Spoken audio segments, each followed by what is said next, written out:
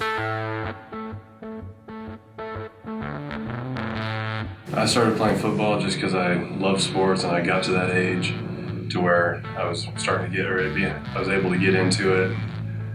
It just kind of took off from there. I think I started when I was flag football, probably around five, six, and just kept going. So I'm an exercise and movement science major.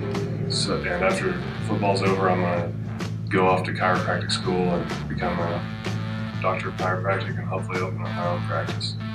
Uh, I just want to be kind of a guy that's that everyone knows and is nice to everyone, and I feel like I feel like there's not a lot of guys on the team that I or like there's not a guy on the team that's my best friend, but I feel like I'm good friends with a lot of people on the team, and I can get along with and talk to just about anybody, any of our 90 some guys we've got.